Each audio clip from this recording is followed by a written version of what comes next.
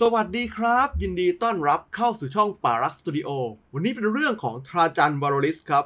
Captain General คนที่ 17 ของ Adeptus Custodes เขาเป็น Chief Custodian ครับ เป็น Custodes ที่มีอำนาจสั่งการสูงที่สุด เป็นนักรบที่เก่งที่สุดในหมู่ Custodes ทั้งหมดในปัจจุบัน เป็น Captain General ก็หมายความว่าเขาเป็นถึงตัวแทนองค์จักรพรรดิถ้าเกิดใครล้อเลียน Trajann Valorisโทษคือตายสถานเดียวครับ เพราะการดูหมิ่นทาจันก็เหมือนกับการดูหมิ่นองค์จักรพรรดินั่นเองตำแหน่งเขาถือว่าสูงส่งมาก นอกจากการเป็น Captain-General เนี่ยเขายังเป็น High Lord of Terra ด้วย เป็นตำแหน่งสภาสูงเทอร่าครับ มีอำนาจในการโหวตกฎหมาย ตามปกติถ้าอยู่ในสนามรบเนี่ยทาจันสั่งอะไรถือเป็นเด็ดขาด แต่ว่าในสภา High Lord of Terra เนี่ยมันเป็นการโหวตถ้าเกิดเสียงโหวตไม่ผ่าน สิ่งนั้นก็ไม่ได้ทำครับ ปกติแล้วตัวของ Custodes เนี่ยจะประจำการอยู่ที่เอ่อระบบสุริยะเทอร่าคุ้มกันวังหลวงแล้วก็ Golden Throne ตอนแรกมีกฎหมายบอกมาเลยนะว่า ห้าม Custodes ออกจากโซนนี้เด็ดขาด ต้องอยู่ป้องป้องกันเท่านั้น แต่การที่ทาจันเป็นหนึ่งใน High Lord of Terra แล้วเนี่ยทำให้เขามีอำนาจในการออกเสียงโหวตครับ ผลคือในยุคของ Leviathan เล่มเนี้ยยุคของ Leviathan เนี่ย Custodes ออกมาช่วย Guilliman ในการทำสงคราม Indomitus Crusade ได้แหละ ก็คือตอนตีกับ Necron เนี่ย มันเริ่มมีกฎหมายที่ทำให้พวก Custodes ออกมาข้างนอกได้ ตอน Leviathan ก็ออกไปช่วยสู้ Tyranid ครับ นั่นแหละครับคืออำนาจปัจจุบันของทาจันเป็นทั้งCaptain-General คนที่ 17 เป็นทั้ง High Lord of Terra ตำแหน่งสูงมาก อำนาจสูงล้นสุดๆเลย ไอ้ตำแหน่ง Captain-General เนี่ย มีตั้ง 17 คน แปลกๆไหม เพราะปกติ Custodes เป็นเป็นอมตะ อยู่ตั้งแต่ยุคแรกสงคราม Great Crusade เลยก็ไม่ตาย แล้วมันมี 17 คน 16 คนที่เหลือตุยเหรอคำตอบคือเปล่าครับ มีบ้างที่ตายในสนามรบ แต่หลายคนก็หายสาบสูญไป เช่นวอลเดอร์ Custodes คนแรกก็หายสาบสูญไป บางคนก็แบบรู้สึกตัวเองไม่เหมาะกับตำแหน่งนี้แล้วก็เลยสลับตำแหน่งครับ แล้วก็ไปทำหน้าที่เป็นเหมือนกับ spy เขาเรียกว่า Eye of the Emperor ครับผม พวกนั้นจะไปตามที่ต่างๆจักรวาล ไม่ใช่ Custodes แล้วนะ แต่คือไปคอยดูว่ามีอะไรที่เป็นภัยต่อเทอร่าหรือเปล่า ถ้าอะไรเป็นภัยกับเทอร่าเนี่ย พวก Eye of the Emperor เนี่ย จะส่งข้อมูลตรงผ่านวิทยุลับครับ มาถึงตัวของ Captain-General เลย แล้ว แล้วให้ Captain-General ตัดสินใจว่าควรจะไปหยุดยั้งภัยลุกลามอันนี้หรือเปล่า มีคำกล่าวอยู่ว่าทราจันเนี่ยเป็น Custodes ที่เก่งที่สุดตั้งแต่เคยมีมา เกินจริงไหม เกินจริงอยู่นิดนึง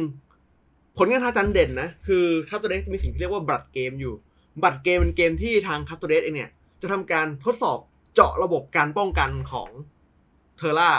ว่าสามารถบุกไปถึงโกลเด้นโทนได้หรือเปล่า มีโอกาสทำอันตรายต่อองค์จักรพรรดิได้ไหมทาจันเนี่ยครับ ชนะบัตรเกมถึงสองครั้ง เป็นสถิติสูงสุด ไม่เคยมีใครชนะมากเท่านี้มาก่อน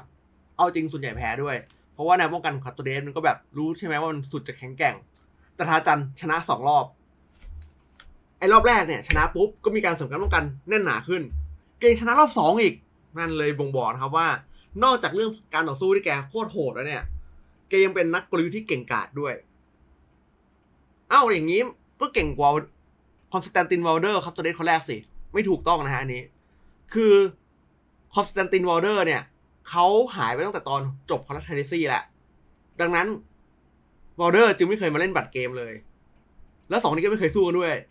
ตอบยากว่าใครเก่งกว่ากันแต่ถามว่า top tier ทั้งคู่ไหม top ทั้งคู่ครับ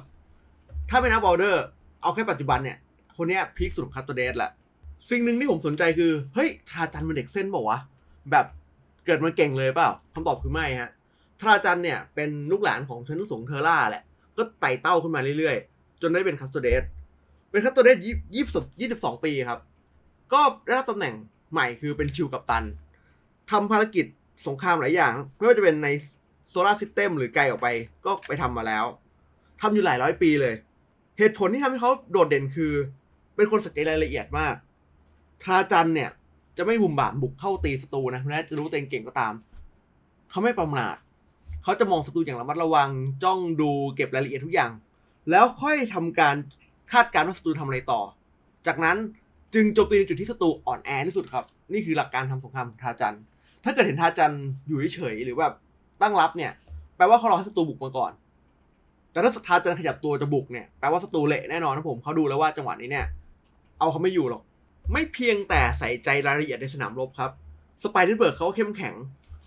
ถ้าเกิดมีกล่องนึงอะ ผมจำไม่ได้ที่เป็นกล่องของ Custodes ตีกับ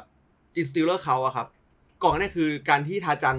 ใช้เครือข่าย network ข่าวกรองเนี่ย หาว่าพวก Genestealer อยู่ไหน แล้วไปจัดการพวกมันนะฮะ Custodes ลงมือเองเลย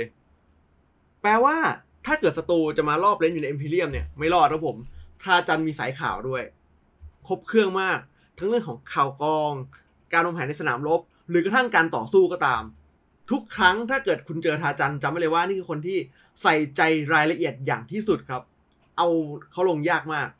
จริงๆ ต้องบอกว่าทาจันมีความโกงอย่างหนึ่งนะ ดูในรูปครับ ตรงเข็มขัดทาจันเห็นไหมไอ้ที่เป็นเหมือนกับ กุญแจมืออยู่ตรงเข็มขัดอะอันเนี้ยมันมีชื่อว่า Moment Shackle ถ้าเกิดใครเล่นโมเดล Warhammer 40k อะจะมีท่าหนึ่งของทาจันในเกมที่ว่า Moment Shackle ที่มันทำให้ทาจันตี 12 ครั้งได้ทำให้ unit เรามี fight first ตอนก่อนปรับแก้ patchแล้วก็ทำให้มี i n v o l v e Save 2บวกครับ ไอ้ตรงเนี้ยคือ Moment Shackle ชื่อท่าเลยทำอะไรได้ มันเป็นอาร์ติแฟกต์โบราณครับ ความสามารถคือ Moment ช่วงเวลา Shackle คือจับมันไว้ ไอ้ตรงนี้เนี่ย ไม่มีใครยืนยันว่ามันทำอะไรได้จริงนะ แต่สิ่งหนึ่งที่รู้คือก่อนกาลิมันจะฟื้นทาจันรู้ก่อน เขาเตรียมการปรับคัสโตเดสให้รอรับกันมาของโรบิเต้กาลิมัน ตั้งแต่ก่อนกาลิมันจะฟื้นซะอีก แปลว่าเขาเห็นอนาคตเหรอ ใช่ ไอ้เครื่องจักรตรงนี้เนี่ย เท่าที่ดู artifact ชิ้นนี้สามารถมองเห็นอนาคตล่วงหน้าได้ นิดนึงคือแบบเก็บมาแค่ moment อะจังหวะเดียว shackle คือจับเอาไว้ มองเห็นอนาคตล่วงหน้าแป๊บหนึ่งหรืออาจจะหยุดเวลา หยุด moment ไงเวลา shackle คือตรึงถูกป่ะไอการที่ทาจันตีสองครั้งได้เนี่ย อาจจะเป็นเพราะตรงนี้อินโนเซฟสองบวกก็อาจจะเป็นเพราะว่าไอเนี่ยมันตรึงเวลาไว้ทำให้สามารถปัดป้องกันโจมตีของตัวได้ง่ายขึ้นครับ artifact ขี้โกงนี่ว่ะก็ด้วย artifact นี้ละมั้งที่ทำให้ผลงานเด่นๆของ Trajann ใน 40k คือการที่ตอน Cadia แตกครับพวก Demon of c r o n อะบุกมาที่ Terra ที่ Lion's Gate ตัวของ Trajann ครับก็เลยเอา กองกำลัง Custodes กว่าสี่พันนายไปยันเอาไว้ แล้วก็ยันอยู่ด้วย หลังจากยันตรงนั้นเสร็จปุ๊บก็เข้าสภาให้ Lord of Terra ไป แล้วขอแก้กฎหมายกับพวกหน่วยงานกฎหมายอะ Lex Imperialis เออนึกออกแล้วไอหน่วยงานนี้มันออกกฎหมายว่าห้าม Custodes ออกไปข้างนอก แต่พอ Trajann ไปปุ๊บก็ไปโหวตแก้กฎหมายว่าเฮ้ยให้ Custodes ออกไปรบได้บ้าง เอ็งจะอยู่ในบ้านรอศัตรูบุกมาตลอดไม่ได้เว้ยเหนื่อย แก้ได้ปุ๊บก็เลยมีเหตุการณ์ที่ Trajann เนี่ย ไปช่วย Guilliman ทำสงครามในที่ต่างๆครับ ในยุคปัจจุบันการต่อสู้ครั้งล่าสุดของ Trajann นี่เป็นผลงานใหญ่คือ การล้ม Norn Emissary ที่ต้องการสังหาร Lord Solar ลงได้ Norn Emissary คือตัวที่ใหญ่ๆที่ที่เนโทษอะ มันมีเนื้อเรื่องอยู่ในนี้นะ ตอนหนึ่งที่แบบ Tyranid จะล่อสังหาร Lord Solar แล้ว Trajann มาช่วยไว้ไอตัวนั้นโหดมากคือมันกระทืบ Custodes ตาย แต่ทาจันปราบมันได้นะขี้โกงกว่า นี่ครับคือเรื่องราวของทาจันมอริสในยุคปัจจุบันไวเมอร์ 40k นะฮะสำหรับวันนี้ครับก็จบแต่เพียงเท่านี้ แล้วเจอกันใหม่โอกาสหน้าครับบราเธอร์